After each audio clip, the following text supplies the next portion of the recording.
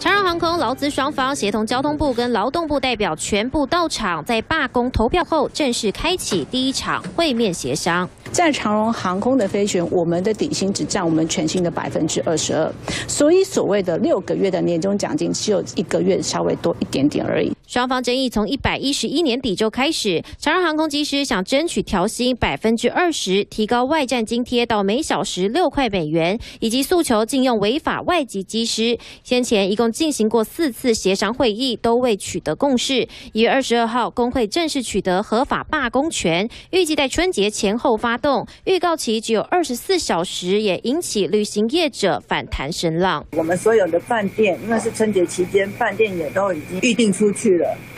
所以说，只要不要变更的话，说实在是难上加难。目前各家旅行社团体机票都已经开到三月份。工会理事长坦言，就算提前一个月预告，根本也难以应变。以春节六天出团高峰，一天一团来计算，每人成本五到六万，一团出估二十人，业者亏损都是百万元起跳，只能喊话双方可得好好谈。目前没有方案，我们无法谈判，我们无法协商，所以我们需要的是公司真的。